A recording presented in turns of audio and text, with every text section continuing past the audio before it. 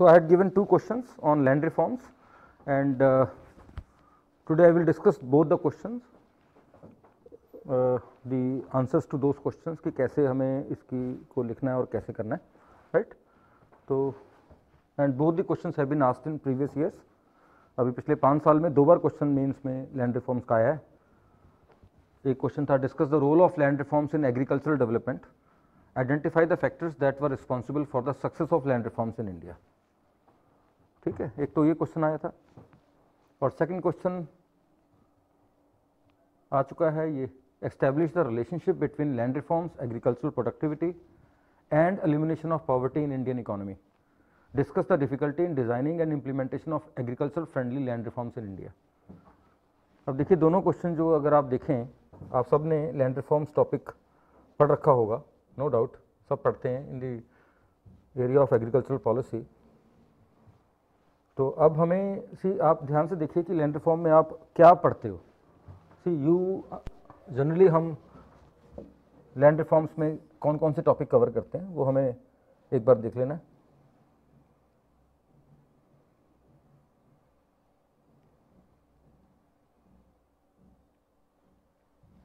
एक बार देख लेना। फॉर एग्जांपल हम डेफिनेशन करते हैं कि लैंड रिफॉर्म्स क्या होता है। फिर हम ऑब्जेक्टिव्स ऑफ़ लैंड रिफॉर्म करते हैं। फिर हम मेजर्स करते हैं लैंड रिफॉर्म्स के अंदर क्या लिए गए, ये समझते हैं हम। फिर हम समझते हैं कि सक्सेस ऑफ़ लैंड रिफॉर्म्स की लैंड रिफॉर्म्स के क्या एडवांटेजेस रहे या क्या अचीवमेंट रही। Good afternoon all of you फिर हम डिस्कस करते हैं प्रॉब्लम्स इन इम्प्लीमेंटेशन कि ये ये पॉइंट्स ऑफ़ फेलियर आ जाते हैं कि कहाँ कहाँ प्रॉब्लम्स आई इम्प्लीमेंटेशन में या पॉइंट्स ऑफ़ फेलियर क्या थे। Right right? और फिर एंड में हम सजेशंस पे आ जाते हैं कि क्या हम और कर सकते हैं for effective implementation of land reforms कोई और अच्छी तैयारी करे तो वो relevance of land reforms in today's scenario क्या है, वो भी समझ सकता है। ठीक है ना? तो देखो, जब भी आप कोई, ये टॉपिक लैंड रिफॉर्म कवर करते हो तो ये कॉम्पोनेंट आप करते हो। ठीक है? एंड इस कॉम्पोनेंट के थ्रू ही आप समझते हो। लेकिन अब देखना यह कि एग्जामिनर ने या एग्ज़ाम में यूपीएससी क्वेश्चन क्या आया? अब देखो क्वेश्चन डायरेक्टली नहीं, उसने पूछा। उसने ये नहीं पूछा discuss the role of land reforms in India उसने ये नहीं पूछा what are the objectives of land reforms in India है ना? उसने ये नहीं पूछा what are the problems in the implementation of land reforms उसने ये नहीं पूछा what are the measures in land reforms ठीक है ना? वेन आई से कि इस तरह के क्वेश्चन जो मैंने अभी गिनाए हैं these are one degree question first degree question direct question जो आजकल पेपर में बहुत कम आ रहे हैं लेस राइट right. अब उसने ये नहीं पूछा critically examine the success of land reforms in India या examine the success of land reforms in India उसने ये नहीं पूछा discuss the various fact discuss various factors which hindered the implementation of land reforms in India अगर ऐसा question आता तो वो सेकेंड डिग्री का बन जाता कि इसमें अब फैक्ट्स के एनालिसिस कर रहा है वो। उसने सिंपली क्या पूछ रहा है आपसे? Discuss the role of land reforms in agriculture development अब यहाँ पे जो आपने ये नॉलेज एक्वायर करी है, उसको अप्लाई करके आंसर बनाना पड़ेगा। ठीक है ना? इसमें देखो एग्रीकल्चर डेवलपमेंट और लैंड रिफॉर्म्स एक वेरिएबल ये है और सेकंड वेरिएबल एग्रीकल्चर डेवलपमेंट है। ठीक है ना? मैं इसको पूरा आपको बताऊँगा कि इसको कैसे हमें आंसर को डिसिफर करना है और कैसे इसका आंसर लिखना है क्या क्या लिखना है। फिर आप मुझे लिख के दिखाओगे। राइट बट लेकिन सबसे पहले हमें समझना है कि क्वेश्चन यूपीएससी में किस तरह के आ रहे हैं। And I am taking the previous year question itself ठीक है ना? तो पहले पार्ट है इस क्वेश्चन का। सबसे पहला तो स्टेप हम ये करेंगे कि we will identify the directives कि डायरेक्टिव्स कौन से हैं इस क्वेश्चन में? देखो डायरेक्टिव्स पहले तो डिस्कस है ये। सारे लिखते जाएँगे अपनी कॉपी में। ये डिस्कस है डायरेक्टिव एंड सेकेंडली है आइडेंटिफाई दो डायरेक्टिव हैं हमारे। डिस्कस एंड आइडेंटिफाई आइडेंटिफाई ठीक है ना? अब डिस्कस थोड़ा सा हमारा जो डायरेक्टिव है वो एनालिटिकल है, जिसमें एनालिसिस देना है हमने। और जब आइडेंटिफाई करने के लिए मुझे बोला क्या है तो सिंपल आइडेंटिफाई करना मुझे ये फैक्ट्स की फॉर्म में। क्लियर ठीक है? अब डिस्कस डायरेक्टिव का क्या मतलब होता है? कि आप किसी चीज़ को अगर मैंने डिस्कस करना है तो ए और बी में वो कोरिलेशन पूछ रहा है। ठीक है? तो डिस्कस में मुझे करना है तो दोनों एस्पेक्ट लिखने हैं। सबसे पहले मुझे बताना है थोड़ा सा व्हाट इज़ ए फिर मुझे बताना है व्हाट इज़ बी और फिर मुझे बताना है how what positive role land reform has played in agriculture development and secondly कैसे इसने एग्रीकल्चर डेवलपमेंट को हिंडर भी किया है। तो पॉजिटिव एंड नेगेटिव दोनों आएँगे। पॉजिटिव एंड नेगेटिव दोनों आएँगे। ये समझ आ गई बात? आई थिंक सबको क्लियर है बात ये? राइट देन थर्ड अब इसके बाद identify the factors what that were responsible for the success of land reforms in India अब मुझे फैक्टर्स लिखने हैं. फैक्टर्स रिमेंबर कौन से फैक्टर्स हैं जिसकी वजह से responsible for the success of land reform अगर, अब इसमें से इतना ये डिसेप्टिव क्वेश्चन है यहाँ पे, दस में से आठ बच्चे गलती करके आएँगे, वो फैक्टर्स लिखने के बजाय, वो क्या लिखेंगे? कि लैंड रिफॉर्म में सक्सेस क्या थी? कि इतने लोगों टेनेंट्स को ओनरशिप मिली लैंड सेलिंग में इतनी एक्वायर हुई। ये तो है कि कैसे वो सक्सेसफुल है? उसने ये तो पूछा ही नहीं। उसने पूछा क्या factor identify the factors that were responsible for the success of land reforms in India तो फैक्टर्स बताने हैं। लीगल फैक्टर्स हैं, कोई पॉलिटिकल फैक्टर्स हैं कल्चरल फैक्टर्स हैं हिस्टोरिकल फैक्टर्स हैं, कौन से फैक्टर्स सोचो, ध्यान ध्यान से इसको विजुलाइज करो क्वेश्चन को। बड़ा मुश्किल है ये, क्योंकि जनरली लैंड रिफॉर्म्स को हम फेलियर की फॉर्म में देखते हैं कि इतना इफ़ेक्ट जितना होना चाहिए था, उतना नहीं हुआ इसका। And in number of states land reforms face the problem of implementation success land reform की कैसे है? कहाँ पे है? आपको ये जो हम डिस्कस क्लास में हमने किया, उसी में से निकालना है। डायरेक्ट क्वेश्चन नहीं वो पूछ रहे, आपकी ये अंडरस्टैंडिंग शो करती है कि what kind of understanding you have for land reforms ठीक है, अब लेकिन फ़र्स्ट ऑफ़ ऑल अब मेरे क्वेश्चन के स्ट्रक्चर क्या बना? अब मैं सेकंड पार्ट पे आता हूँ कि मेरा स्ट्रक्चर क्या बना? सबसे पहले मैंने इंट्रोडक्शन देनी है। ठीक है? इंट्रोडक्शन से फिर मैंने मेन बॉडी स्टार्ट करना है। बॉडी के अंदर मैं लिखूँगा वट आर लैंड रिफॉर्म्स एक लाइन में। वट आर लैंड रिफॉर्म्स ये लिखते जाना अपने साथ साथ में। अब फिर मैं लिखूँगा कि बेसिकली थोड़ा सा एक लाइन में एग्रीकल्चर डेवलपमेंट के बारे में लिखूँगा कि agriculture development was a priority after independence because more than 80 percent of the population was depending upon agriculture. So, it was a priority. और जो लैंड रिफॉर्म्स थे they are the institutional reforms in the organisation of agriculture institutional reforms in the organisation of agriculture and agriculture development was the priority तभी ये दोनों में linkage आ गया लेकिन जो ये अब ये इंस्टीट्यूशनल रिफॉर्म्स जो लैंड रिफॉर्म्स ने किए, क्या वो, क्या रोल प्ले किया उसने? क्या पॉजिटिव रोल प्ले किया और फिर क्या नेगेटिव रोल प्ले किया?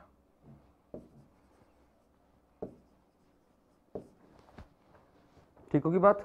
जब मैंने दोनों ही लिख लिए, फिर मेरा नेक्स्ट पार्ट आएगा क्वेश्चन का कि फैक्टर्स लिखने हैं मैंने। Factors for success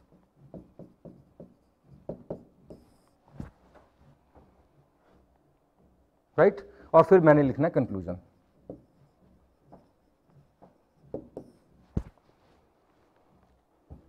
फिर मैंने लिखना है कंक्लूजन अब यहाँ मैंने इंट्रोडक्शन लिखी, फिर मैं मेन बॉडी पे आया, मैं यहाँ पे एक हेडिंग दे दूँगा रोल ऑफ़ लैंड रिफॉर्म्स और यहाँ मैं लिख दूँगा फैक्टर्स फॉर सक्सेस बस, ये दो हेडिंग मेरे आ गए ये दो हेडिंग मेरे लग गए यहाँ पे। एक ये हेडिंग आ गया मेरा और एक ये हेडिंग आ गया मेरा और ये मेरा आ गया कंक्लूजन कंक्लूजन में लिखना है मैंने। अब इतने पार्ट बन गए मेरे क्वेश्चन के और मेरे, अब वर्ड लिमिट मेरी इस क्वेश्चन में क्या है? 250 वर्ड्स का मैंने इसको लिखना है। I have to write in 250 words 250 words तो अब इन स्प्लिट सेकेंड मैं आइडेंटिफाई करूँगा कि मुझे कितने वर्ड किस पे लिखने हैं। सबसे पहले मैं देखूँगा कि सबसे बड़ा सेक्शन मेरा इसमें से कौन है। सबसे बड़ा सेक्शन मेरा इस पार्ट में है पॉजिटिव नेगेटिव रोल में आएगा। सबसे ज़्यादा मटेरियल मेरे पास इसके लिए है। तो ठीक है, मैंने डेढ़ सौ में से मैंने हंड्रेड वर्ड्स इसके लिए लिख लिए। अंदाजन। अब ये फैक्टर्स आ गया मेरा। तो फैक्टर्स पे मेरे 50 वर्ड्स 50 टू 75 वर्ड्स आ गए। 50 वर्ड्स बहुत हैं वैसे। फिर ये जो डेफिनेशनल पार्ट है, इसके लिए मेरे पास 25 टू 30 वर्ड्स या अराउंड हाँ थर्टी थर्टी फाइव वर्ड दो तीन लाइनें इसमें लिख लिख सकते हो आप। तो आप समझो कि आपके पास इंट्रोडक्शन के लिए 25 वर्ड हैं और कंक्लूजन के लिए 25 वर्ड हैं। क्वाइट गुड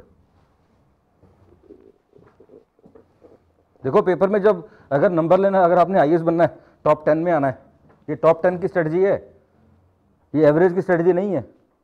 जो इस तरह से अगर प्रैक्टिस कर लिया आपने, महारत हासिल कर ली कि टिप्स पे सब कुछ, चल रहा है, बस कर देना है। अब ये क्वेश्चन किसी का तैयार थोड़ी होना है।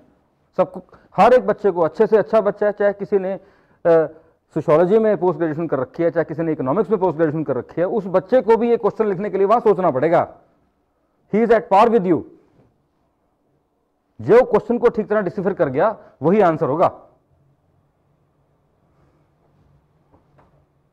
ठीक है ना? अब जो रोल लिखना है रिमेंबर जो रोल ऑफ़ लैंड रिफॉर्म्स लिखना है, वो vis a vis agriculture development है। Remember it is vis a vis agriculture development general role नहीं है एग्रीकल्चर डेवलपमेंट और फैक्टर्स फॉर सक्सेस है ये। उसने फेलियर नहीं पूछे। सक्सेस पूछे हैं बस। ध्यान रखना है इस बात को। ठीक है ना? अब नेक्स्ट पार्ट आता है। क्वेश्चन का मैं इसको एक्सप्लेन कर रहा हूँ आगे। अब बताने वाली बात क्या? इंट्रोडक्शन ठीक है? आप लिखोगे कुछ भी अपनी मर्ज़ी से? 25 वर्ड कंक्लूजन आपके हाथ में है। वो मैं काफ़ी आपको, आप कर चुके हो practice now you can do something in it तो तीन पार्ट मैंने डिस्कस करने हैं। First is the role of land reforms in agriculture development positive role अब देखो लैंड रिफॉर्म के दो ऑब्जेक्टिव हम मानते हैं सोशल जस्टिस और सेकेंडली एग्रीकल्चरल प्रोडक्टिविटी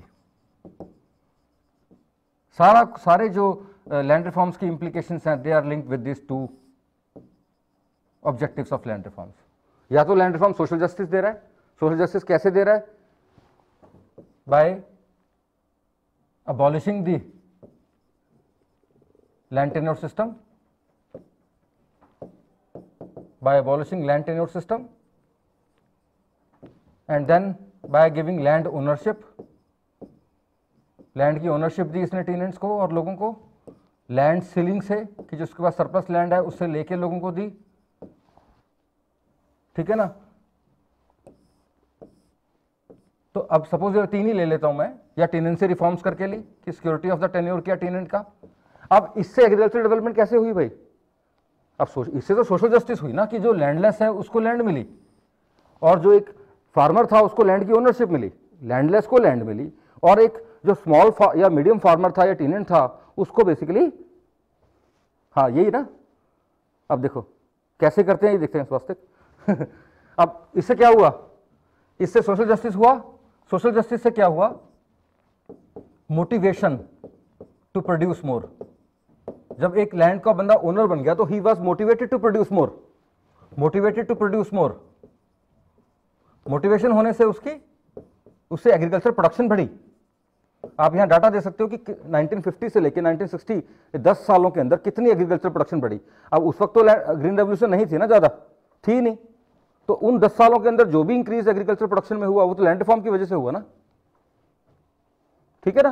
तो एक तो हो गया कि इससे मोटिवेशन हुई राइट सेकेंडली एक और इसकी इंप्लीकेशन थी कि इसने सोशल जस्टिस ने सेल्फ कल्टीवेशन को बढ़ावा दिया।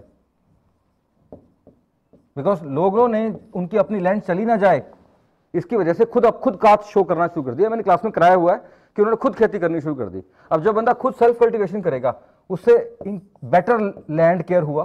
लैंड केयर लैंड पे इन्वेस्टमेंट होने लगी। बेटर लैंड केयर और इससे एग्रीकल्चर प्रोडक्टिविटी बढ़ी।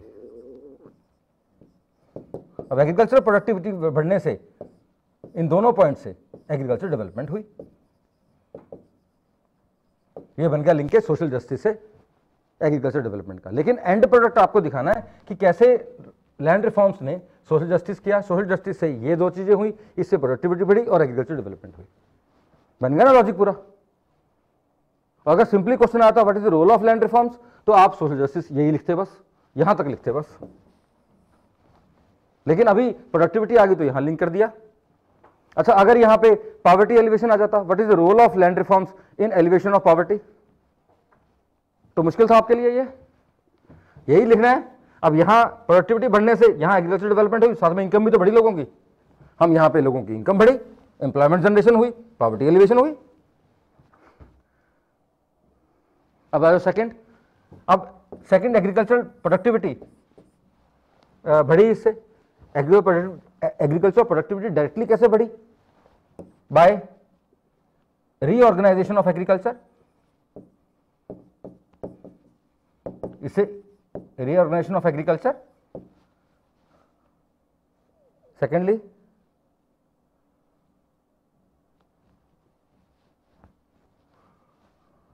agriculture फिर सेकेंडली था लैंड कंसोलिडेशन से। कंसोलिडेशन लैंड कंसोलिडेशन ठीक है बात?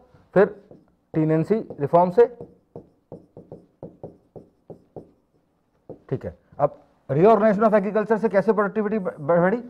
इससे एफिशिएंसी ऑफ़ इरिगेशन वाटर बढ़ी। ये मैं करा आपने सबने किया होगा। इरिगेशन वाटर की एफिशिएंसी होने से प्रोडक्टिविटी बढ़ी प्रोड्यूस बढ़ी, क्योंकि पानी मिला क्रॉप को। फिर लैंड कंसोलिडेशन से क्या हुआ? सेविंग ऑफ़ एफर्ट्स कि एक किसान को दस जगह खेती करने की बजाय वो एक जगह पे खेती कर रहा है। सेविंग ऑफ़ एफर्ट्स की वजह से फिर प्रोडक्टिविटी बढ़ी। टीनेंसी रिफॉर्म्स की वजह से क्या हुआ? टीनेंट ओनर बन गया। बेटर लैंड केयर एंड इससे फिर प्रोडक्टिविटी बढ़ी। और प्रोडक्टिविटी बढ़ने से क्या हुआ? एग्रीकल्चर डेवलपमेंट हुई।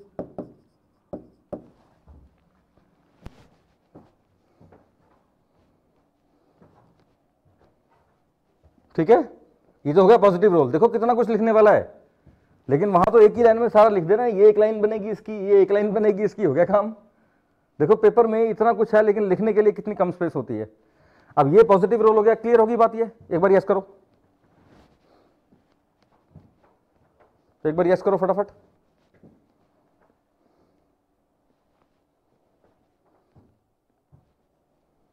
मैं ज़बरदस्ती नहीं है वैसे।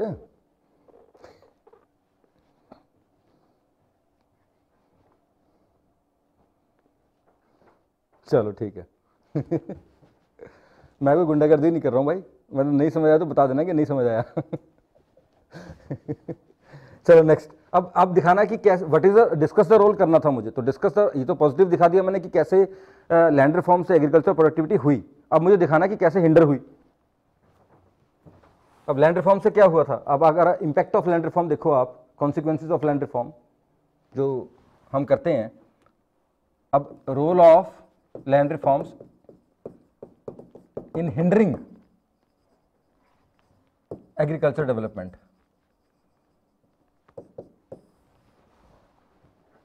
ज़्यादा डिटेल में लिखना नहीं है। लैंड रिफॉर्म से क्या क्या हुआ? कॉन्सिक्वेंसेस क्या है लैंड रिफॉर्म के?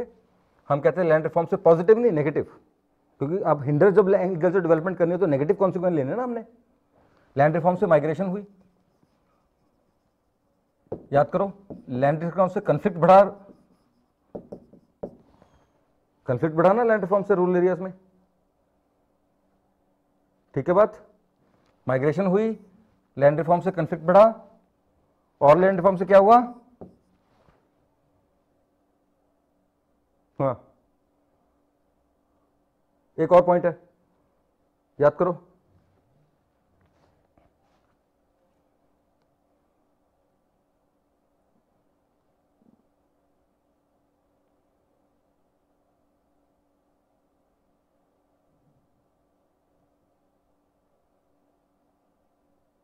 माइग्रेशन कॉन्फ्लिक्ट और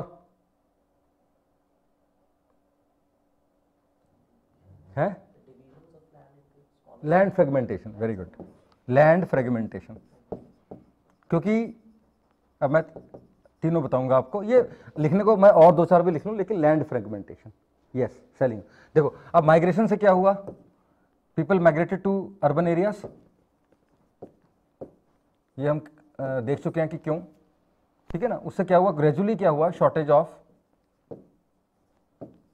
लेबर जिससे थोड़ा सा एक इम्पैक्ट पड़ा कि गाँव में लेबर कम हुई। लिखने के लिए होता ज़्यादा। इसका ज़्यादा सेंटी नहीं होना। कन्फ्लिक्ट होने से क्या हुआ? जो कन्फ्लिक्ट हुआ, ठीक है ना? इससे क्या हुआ? जो विलेज की इकोनॉमिक स्ट्रक्चर है, वो हिंडर हुआ ड्यू टू कन्फ्लिक्ट जो ट्रेडिशनल इंटरडिपेंडेंस है, वो टूट गई लोगों में। और जो विलेज पॉवर्टी है, वो बढ़ी which hindered the agriculture development क्योंकि पहले ट्रेडिशनल इंटरडिपेंडेंस थी, खाने को लोगों को मिल जाता था, अब वो इंटरडिपेंडेंस टूट गई कॉन्ट्रैक्ट मतलब कॉन्ट्रेक्चुअल लेबर आ गया। तो उससे क्या हुआ कि जो ये पावर्टी की समस्या है ना रूरल पावर्टी हम कहते हैं, इतनी बढ़ गई, वो उसका मेजर कारण ये था कि जो लोकल लेवल पे ट्रेडिशनल इंटरडिपेंडेंस है, वो टूट गई because of conflict between people because of land reforms क्योंकि उनको लैंड अपनी देनी पड़ रही थी लैंडलेस को, वो अपनी लैंड शेयर करने को तैयार नहीं थे and then the conflict was there अब लैंड रिफॉर्म से बचने के लिए लोगों ने क्या किया? लैंड को इंडिविजुअल के नाम पे ट्रांसफ़र कर दिया। उससे लैंड की फ्रेगमेंटेशन हो गई। लैंड की सेलिंग बहुत स्टार्ट हो गई, जिससे साइज़ ऑफ़ प्लॉट कम हो गया। साइज़ ऑफ़ प्लॉट कम हो गया। छोटे छोटे खेत होने लग गए, जिसकी वजह से एग्रीकल्चर डेवलपमेंट हिंडर हुई। हिंडर लिखना है। हमने ये नहीं लिखना कम हो गई। मतलब बेटर हो सकती थी अगर ये भी साथ में ये चीज़ें ना होती तो। क्लियर होगी बात ये? हाँ कंफ्लिक्ट के अंदर आप नक्सल भी लिख सकते हो एग्ज़ाम्पल अरे, इतना जगह होती नहीं है। बेसिक लॉजिक में निकल जाता है सारा। नक्सल भी लिख सकते हो कि भाई ठीक है हाँ कंफ्लिक्ट होने से जो improper implementation of land reform की वजह से कंफ्लिक्ट जनरेट हुआ, जिससे नक्सल वायलेंस आई, जिससे एग्रीकल्चर डेवलपमेंट हो ही नहीं पाई उन एरिया में ज़्यादा। ठीक है बात? चलो, अब लास्ट पार्ट है इस क्वेश्चन का, कि भाई फैक्टर्स फॉर सक्सेस अब यहाँ पे जब फैक्टर्स फॉर सक्सेस लिखोगे identify the factors of success थोड़ा सा बताओगे कि land reform is also known for improper implementation in India है ना? Land reform is known for improper implementation in India due to legal hindrances legal hindrances poverty and ignorance of the beneficiary cultural factors etcetera ज़्यादा नहीं इस पर लिखोगे। But at the same time it was a huge success also. And following are the factors responsible for success. क्या क्या factors हैं? Number one, law. Law आने की वजह से लॉ बाइंडिंग हो गया सब पे लॉ बाइंडिंग हो गया and people had to accept the verdict of law अब ऐसा थोड़ी है कि लॉ हिंड्रेंस बन गया उसने लैंड रिफॉर्म इंप्लीमेंट ही नहीं होती सी मेजोरिटी ऑफ़ द केसेस में तो लॉ की डर की वजह से लोगों ने लैंड रिफॉर्म को सक्सेसफुल बनाया। ठीक होगी बात? तो law is a factor because of which the land reform was success because land reform थे ही legal okay number two second factor was the political will जो पॉलिटिकल मास्टर्स थे, वो कहते कि दे अब देखो in number of states like West Bengal Punjab Kerala etc the strong political will was, strong political will was responsible for the success of land reforms कि government ने इसको इंप्लीमेंट किया। पहले तो लॉ है सेकेंडली गवर्नमेंट ने इसको implement किया। अब यहाँ सक्सेस लिखना है, यही तो क्वेश्चन में ट्रिक है कि सक्सेस लिखनी है। अब सक्सेस के लिए तो यही है। ठीक है ना? अब थर्ड क्या है? लोकलाइज्ड फैक्टर्स लोकलाइज्ड फैक्टर्स ठीक है ना? जैसे जहाँ जहाँ इरिगेशन फैसिलिटीज़ थी, जहाँ जहाँ अशोर्ड इरिगेशन फैसिलिटीज़ थी, वहाँ वहाँ लैंड रिफॉर्म बड़ा सक्सेसफुल हुआ, जैसे Punjab, Haryana western UP because irrigation facilities होने की वजह से लोगों ने फ्रेगमेंटेशन सॉरी लैंड कंसोलिडेशन और री रीडिस्ट्रीब्यूशन को हिंडर नहीं किया। उनके फ़ायदे में थी बात वो। और जहाँ जहाँ अशोर्ड इरिगेशन नहीं थी, वहाँ वहाँ ये लैंड रिफॉर्म प्रॉपरली ये दो चीज़ें इंप्लीमेंट नहीं हो पाई बिकॉज़ लोगों को इंसेंटिव नहीं था, वो कहते ठीक, जगह मिल भी थी तब भी क्या है? खेती तो हो नहीं सकती। है ना? तो बेसिकली लोकलाइज फैक्टर्स ऐसे थे कि जहाँ पे जिसकी वजह से ये हुआ। है ना? तो ये तीन फैक्टर आप सक्सेस के लिए लिख दोगे I think there are more than enough and then last thing is conclusion तो हमने कंक्लूजन लिख देना। इतना भी पेपर में लिख दोगे ना, आपके पंद्रह में से आठ या नौ नंबर अश्योर्ड हैं। लेकिन मैं नहीं कहता कि पेपर में इतना, वहाँ पे इतना आपके दिमाग में आ जाएगा। वो तो बच्चे ही ना भी अपने आप से इतना एक्सपेक्ट नहीं करना कि आप इस लेवल का पूरा ही आंसर पेपर में लिख दोगे देखो एक्सपेक्टेशन लिमिटेड रखोगे तो रियलिस्टिक प्रिपरेशन रहेगी। हम कई बार एक्सपेक्टेशन अनरियलिस्टिक ड्रॉ कर लेते हैं कि पता नहीं क्या कर देना वहाँ पे। वहाँ कुछ दिमाग चलता नहीं फिर। आप सोचो कि आपने इसका सात आठ सात आठ नंबर तो लेने लेने हैं ना इस क्वेश्चन में। पर ये आपने सारा लिख दिया तो नौ या दस नंबर आपके पक्के हैं पेपर में। लेकिन आप देखो क्या, जो पढ़ा है आपने, जो पढ़ाई करी है एग्जैक्टली exactly वही काम आया आपके। जो ये पढ़ाया आपने रादर देन लेकिन डायरेक्टली तो नहीं आया क्वेश्चन वो।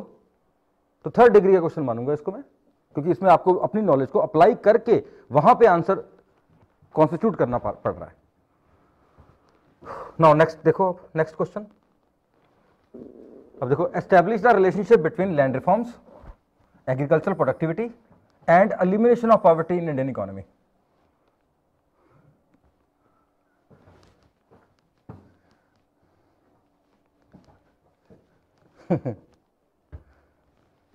this is the first part of the question discuss the difficulty in designing and implementation of the agricultural friendly land reform देखो, कैसे घुमा लेते हैं क्वेश्चन को?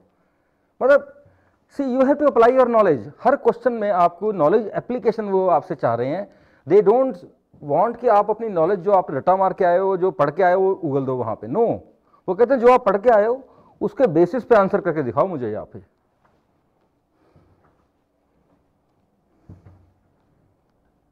उसके जगह पे, उसके बेसिस पे क्वेश्चन करके दिखाओ। And that should be thrust of coaching that should be thrust of education what I want है ना? बिकॉज़ चेंजिंग टाइम के साथ हमें बदलना है अपने आप को। एक टाइम था कि डायरेक्ट क्वेश्चन आते होते थे, हम वैसे ही कराते थे, लेकिन आज सबको बदलना चाहिए हर टीचर को। और बच्चों को ये प्रैक्टिस करानी चाहिए कि हाँ ये कैसे, ये वाला क्वेश्चन कैसे करना है? ये नहीं है, मैंने हाँ क्लास में करा दिया, अब मैं कहूँ क्लास में करा दिया, आपको क्लास में करा दिया, मैंने तो हो गया हो गया। पेपर में लिख नहीं पाओगे आप, क्योंकि अप्लाई अप्लाई करनी है आपको नॉलेज ठीक है ना? अब इसका हम देखते हैं, इसका, इसमें क्या है, इसके डायरेक्टिव्स कौन कौन से हैं इसमें? डायरेक्टिव्स इसमें है एक तो एस्टेब्लिश करना आपको, ठीक है? एस्टेब्लिश द रिलेशनशिप ये डायरेक्टिव बन जाएगा, ठीक है? ओके डिस्कस आ गया यहाँ पे डिस्कस द डिफिकल्टी आ गया in designing and implementation of agricultural friendly land reforms ठीक होगी बात? ओके तो डायरेक्टिव कौन से हो गए मेरे दो? एस्टेब्लिश एंड सेकेंडली डायरेक्टिव मेरा है डिस्कस तो डिस्कस तो वही है जो मैंने लास्ट डिस्कस किया एस्टेब्लिश के अंदर आपको शो करना है बेसिकली आपको एस्टेब्लिश करके क्लियरली स्टेट करना है कि हाँ ये रिलेशनशिप है। और डिस्कस में वही डिफरेंट एस्पेक्ट्स लिखने हैं। Different aspects of the problem तो let us first of all define the structure of the question structure of the question define करते हैं। सबसे पहले तो मुझे क्या करना है? डिस्कस दी रिलेशनशिप बिटवीन तो पहले तो आपका इंट्रोडक्शन आएगा। फिर सेकेंडली आप मेन बॉडी में पहले लिखोगे वट आर लैंड रिफॉर्म्स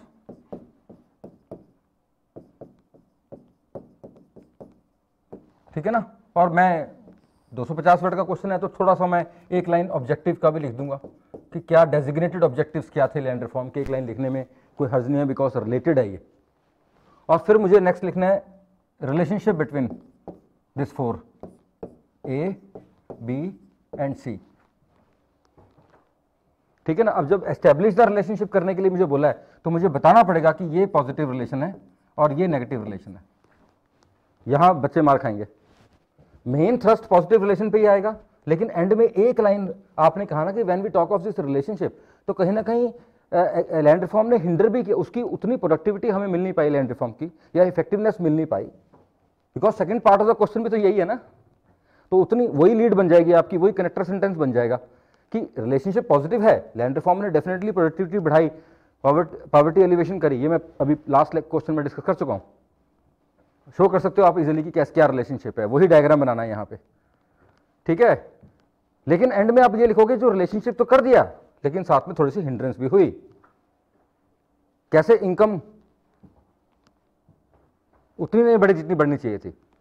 कैसे प्रोडक्टिविटी उतनी नहीं बढ़ी इतनी नहीं because of migration conflict and fragmentation एक लाइन लिख के आगे चलना है हमने।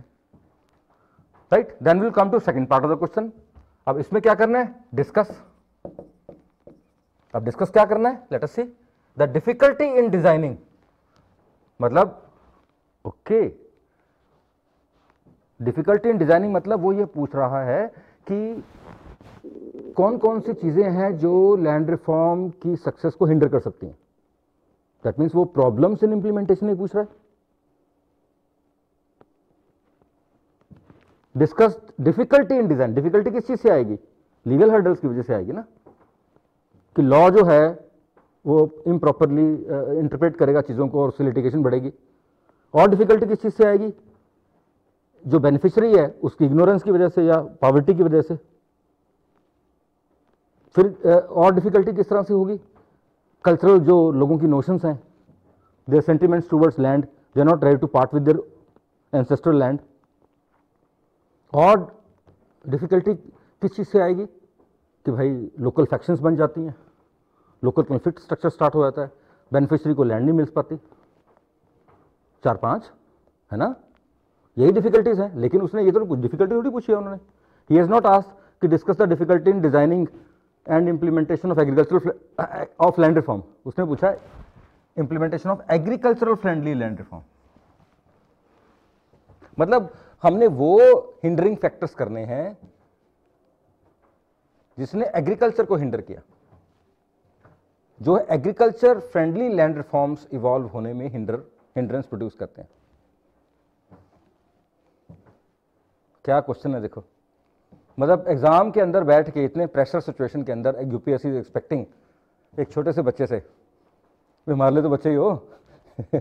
कि वो ये बात इंटरप्रेट करेगा कि इसका मतलब क्या भाई? इसका मतलब क्या है? दिमाग घूम रहा है आपके? नहीं घूम रहा?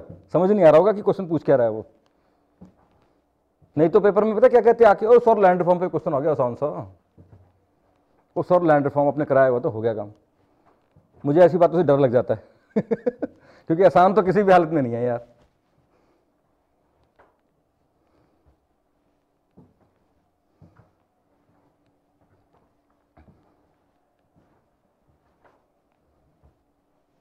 ठीक है जी, अब देखो, क्या करना है हमारे को? डिस्कस क्या करना है? सबसे पहले दो आस्पेक्ट हैं इसके अंदर डिज़ाइनिंग मतलब फॉर लैंड रिफॉर्म में करना क्या है? यहाँ पे डिज़ाइनिंग में बात कर रहा है वो मेजर्स की, कि लैंड रिफॉर्म में क्या क्या होना चाहिए। सेकेंडली बात कर रहा है वो इंप्लीमेंटेशन की, कि इंप्लीमेंटेशन कैसे करनी है। अब इंप्लीमेंटेशन क्या हुआ? थ्रू लॉ हुआ इंडिया में लीगल लॉ बनाए और एग्जेक्टिव ऑर्डर के through law is always fold followed by executive orders जो स्पेसिफिक होते हैं। अच्छा अब वो बात है कि इस मेजर्स को डिज़ाइन करने में, अब देखो क्वेश्चन सिंप्लीफाई होता जा रहा है। इन मेजर्स को डिज़ाइन करने में क्या प्रॉब्लम थी डिफिकल्टी क्या थी? इस इंप्लीमेंटेशन को डिज़ाइन करने में क्या डिफिकल्टी थी?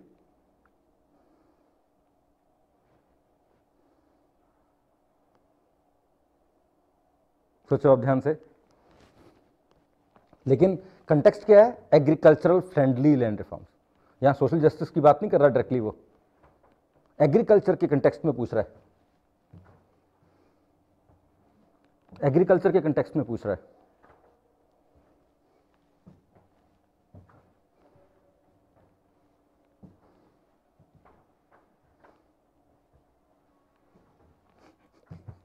घूम गया दिमाग? यस लिखो अब, कि सर घूम गया पूरा। पूछ क्या रहा है, अभी तक नहीं समझ आ रहा। मैं भी बहुत ख़राब हूँ ना धीरे धीरे अनवील करता हूँ। देखो, अब कुछ तो क्लैरिटी आई ना कि दो बातें हैं डिज़ाइनिंग करनी है और इम्प्लीमेंटेशन है। मैंने इसको तोड़ लिया ना।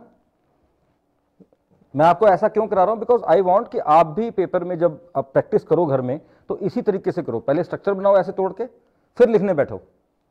नहीं तो क्या होता है, कुछ ना कुछ छूट जाता है। और धीरे धीरे क्या होगा ना, ये स्ट्रक्चर माइंड में बनने शुरू हो जाएँगे। फिर आपको पेपर पे लिखने नहीं पड़ेंगे। आपकी इतनी प्रैक्टिस हम करा देंगे मीन्स तक कि आपको ये स्ट्रक्चर दिमाग में बनने लग जाएँगे। और सीधा पेन उठाओगे, लिखना शुरू कर दोगे स्ट्रक्चर बनता जाएगा। लेकिन इनिशियली तो आपको अपने प्रैक्टिस के लिए तो स्ट्रक्चर ये बनाने पड़ेंगे ना इस तरह से। तभी प्रैक्टिस होगी मेंटली आपकी। अब डिस्कस करना है मुझे। अब discuss the difficulty in designing discuss the difficulty in implementation अब देखो कुछ समझ आई? और वेरिएबल क्या है? Agricultural friendly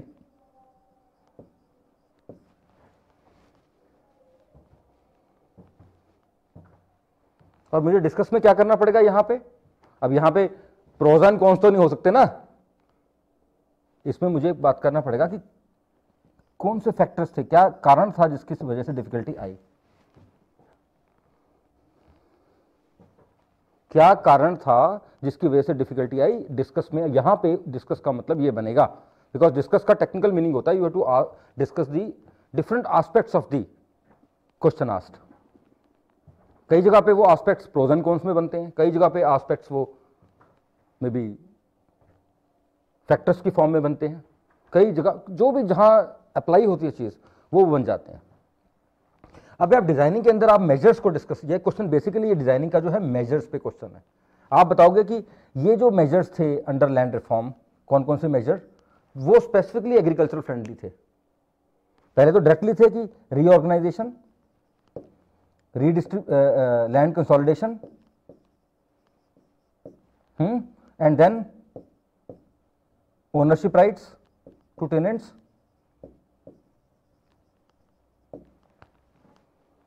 right? अब ये एग्रीकल्चरल फ्रेंडली मेजर्स थे which were there in land reforms और इनकी, इनमें प्रॉब्लम क्या थी? कि बेसिकली कैसे रीऑर्गेनाइज किया जाए, कैसे लैंड कंसोलिडेट की जाए? तो आप लिखोगे यहाँ पे कि वेरियस कल्चरल फैक्टर्स ये जो मेजर्स थे they could not take into account various cultural local factors in effective designing of these measures इतना लिखना है। सिर्फ़ इतना लिखना है आपको इसमें कि डिज़ाइनिंग में जो पॉलिटिकल इकोनॉमिक आप लिख दो पॉलिटिकल इग्नोरेंस वही फैक्टर्स लिखने हैं जिन्होंने इन मेजर्स को प्रॉपरली डिज़ाइन होने नहीं दिया। ये फैक्ट है। जैसे रीडिस्ट्रीब्यूशन लैंड की कैसे होनी है, ये हम पिछले पचास, साठ साल से यही दिक्कत में आते रहे। डिफरेंट स्टेट्स में डिफरेंट कंपल्शन थी और रीडिस्ट्रीब्यूशन हो ही नहीं पाई प्रॉपरली उससे क्या हुआ? Ultimately in the first decade of twenty first century 2000 के बाद of the land uh, states have abolished the redistribution or land consolidation system. Because वो कभी बन ही नहीं पाया. Because of local cultural factors legal factors अगर वो करने लगते तो कोई केस कर देता कोई अगर क्योंकि ऐसा कोई एग्रीकल्चर फ्रेंडली मेजर इस तरह से बन नहीं पाया वो. ठीक है? अब जब इंप्लीमेंटेशन की बात करते हैं तो आप बताओगे यहाँ पे कि legal hurdles legal interpretation poverty ignorance basically इन्होंने डिफिकल्टी पोज करी. In developing agriculture friendly land reforms आपको बेसिकली जब डिफिकल्टी की बात आ रही है, यहाँ फैक्टर्स बताने हैं कि किन फैक्टर्स ने लैंड रिफॉर्म्स को एग्रीकल्चर फ्रेंडली बनने में हिंड्रेंस प्रोड्यूस करी। ठीक है? ये आ गया सेकंड पार्ट इस क्वेश्चन का।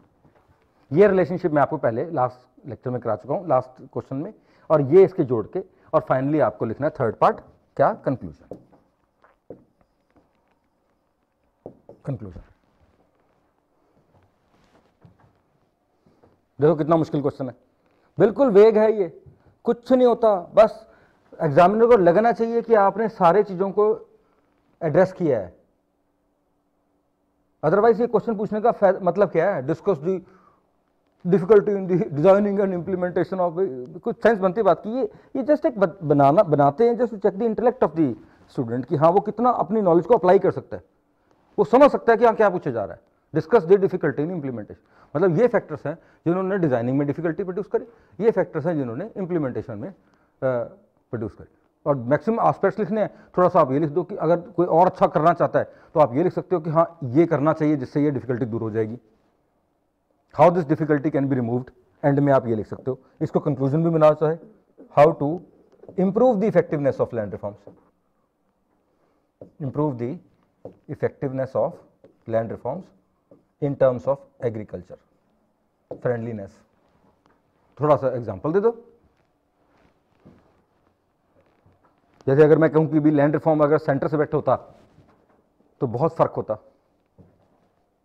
लैंड अगर सेंट्रल सब्जेक्ट होता जो होना मुश्किल था डेफिनेटली लेकिन ये समझ लो कि अगर लैंड रिफॉर्म्स किसी भी वर्ल्ड के, जापान में हुआ, चाइना में हुआ, रशिया में हुआ, साउथ अफ्रीका में हुआ, कहीं पे भी हुआ तो land was under the control of centre हमारे यहाँ land was control under the control of states जिसे हर स्टेट ने अपना अपना एक्ट बनाया, और उसमें खामियाँ होती चली गई। लोकल हाई कोर्ट्स में केसेस सुप्रीम कोर्ट में केसेस मतलब हज़ारों लाखों की संख्या में केसेस आते गए। बट प्रैक्टिकली कंपल्सन्स थी कि लैंड को आप सेंटर सब्जेक्ट में नहीं रख सकते थे।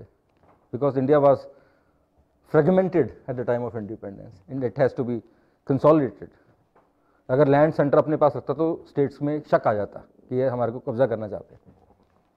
कर तो लिया ही वैसे लेकिन बट वो तो लैंड एक और एग्रीकल्चर स्टेट वेट होने की वजह से और हुआ इसलिए कि लोकल कंपल्शन अलग थी लैंग्वेज कल्चर कास्ट रिलीजन उन्होंने लगा कि अगर लोकली हम वेरिएंट रखेंगे लैंड रिफॉर्म को फ्लेक्सिबल रखेंगे तो बेटर इंप्लीमेंटेशन होगी, लेकिन हुआ उल्टा। Number of states were not at all serious in implementing land reforms political bureaucratic nexuses बन गए। पॉलिटिकल पार्टीज़ इमर्ज हो गई जिन्होंने इंप्लीमेंट नहीं करने दिया लैंड रिफॉर्म को। क्योंकि यहाँ पे ultimately beneficiary was the landless and landless was lower caste person जिसकी सही नहीं थी इनिशियली और सारा बेनिफिट उसी को जाना था। लोअर कास्ट लोगों को सारा बेनिफिट जाना था तो डेफिनेटली एक हिंड्रेंस स्ट्रक्चर बन गया। और इसी ने डिफिकल्टी प्रमोट करी, जिसको कल्चरल फैक्टर्स हम बोलते हैं। ठीक है जी? सो so, ये दो क्वेश्चन हो गए लैंड रिफॉर्म्स के आपके, जो आपने, हमने कर लिए। दोनों क्वेश्चन प्रीवियस ईयर पेपर में आए हुए हैं।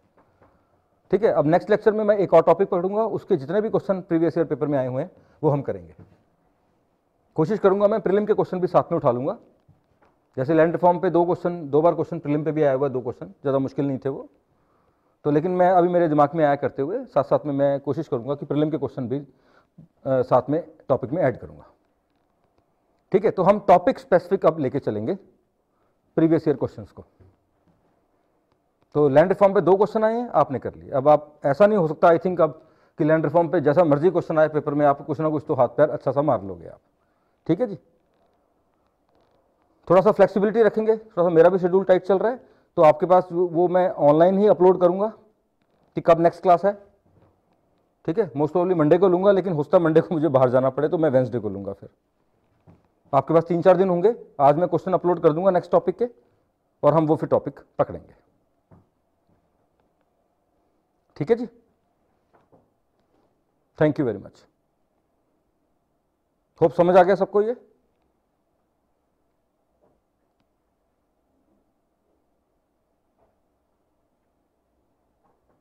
ओके। okay.